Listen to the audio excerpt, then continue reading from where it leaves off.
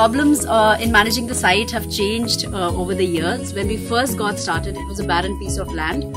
Everything was a problem.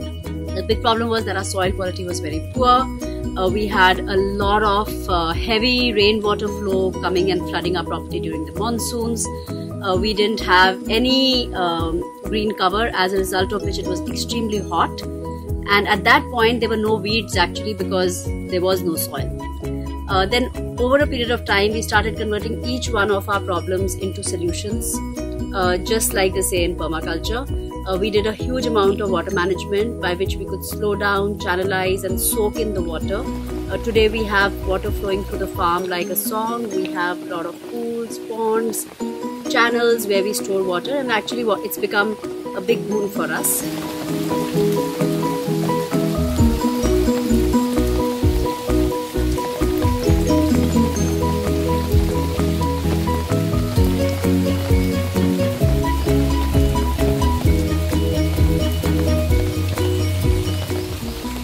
Second thing that we did was we planted trees. By planting trees, we actually converted two problems into solutions. One was that the temperature on this farm started coming down. Uh, it's always cool here, no matter what time of the year. Uh, it can be 46 degrees anywhere else, but at Aanandaa it's always breezy and cool. Our soil quality was really poor, uh, but we started building back soils by planting the trees, many of which are nitrogen fixing. The leaf litter actually started providing a good amount of mulch. Um, the water retention, thanks to the roots of the trees, helped us to uh, actually make the soil much better. And today we make a lot of wood chips from our own tree cuttings that helps us to mulch the soil. So that's another problem that we've managed to overcome. There was a time in between when we used to have a pest problem, especially when we grew things like dals and vegetables.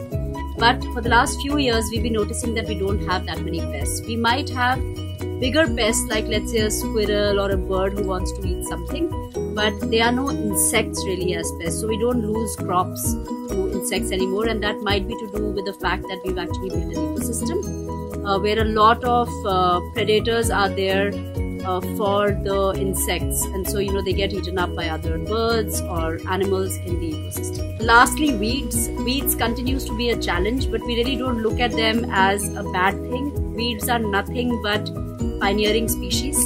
They like to cover up soil, so whenever they see a naked piece of soil, they will grow. What we found is over the years, the quality of our weeds have changed. We used to have very um, sad looking weeds, mostly Parthenium or what's commonly known as Congress grass. Today we have a huge variety of weeds which are actually almost edible. A lot of the farm help tell me that they eat these things in the village, and I think some of them even have medicinal or uh, herbal qualities. So uh, every challenge can be overcome in a permaculture farm. That's what our learning has been.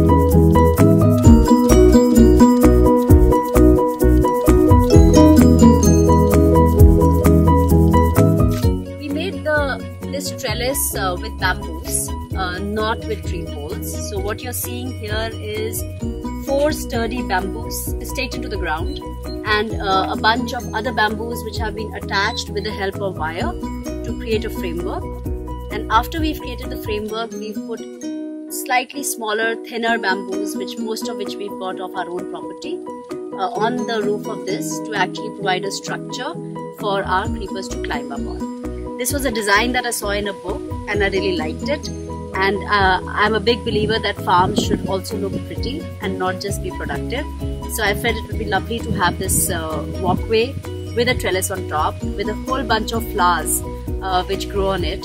And uh, since we've uh, planted a variety of flowers, some flower or the other is always growing on this trellis through the year. It does not last forever, but we have replaced this once in between. So the average life of this trellis and all these bamboos is about four to five years. After which we replace the ones which have been eaten away by termite uh, and reuse those to put on slightly lesser load bearing uh, places like the trellis on top. So um, yeah, uh, all this local craftsmanship, we just found people in the village who could do this, and I think they've done a pretty good job, haven't they?